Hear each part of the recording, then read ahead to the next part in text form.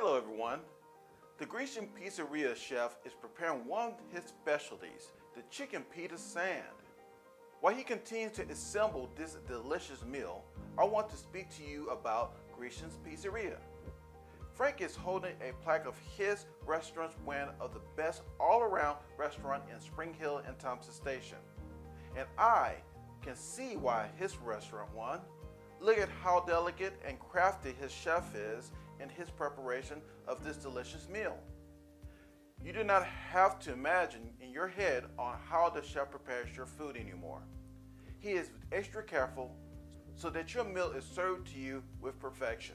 By the way, thank you Frank for supporting our local first responders. If you ate here before, please comment below because your comment will help a first timer to eat at Grecian Pizzeria. This is the digital business card. Please share this video card in your timeline to help promote these family owned restaurants.